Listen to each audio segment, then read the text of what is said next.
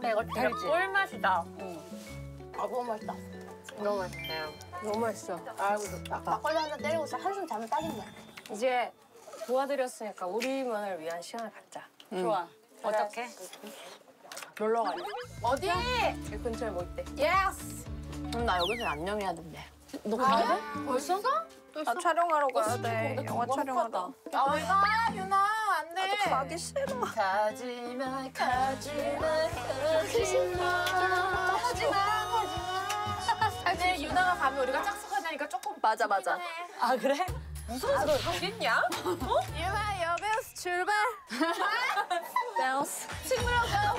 수영 유치야. 조심히가. 야스 바바이. 고생했어. 잘 가. 댕겨오래. 충무로 댕겨와. 가서 봐. 얼마나 가겠어. 뒤로 탈 거야?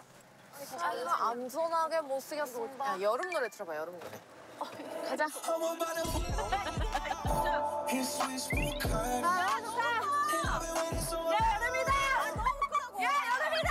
여기 진짜 죄송한데 애들이 조증 타임이에요. 비켜 비켜. 지금 오후 3시는 조증 타임이거든요. 야 뒤를 꺼. 뒤에 끄라고? 뒤가 진짜 시끄러. 이렇게 하고 싶어? 아니 앞에 있는 얘기 애들이 얘기한적이네. 그러면 이렇게 이렇게? 그러면 이 정도? 좀 더 커도 돼. 이 정도? 좀 더 커도 돼. 화내지 말고. 야. 진짜 안 맞아.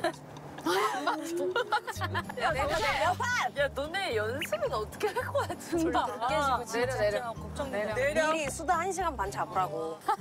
연습하면 입 풀어야 다 풀리니까. 입 간지러운 애들은 30분 전에 와.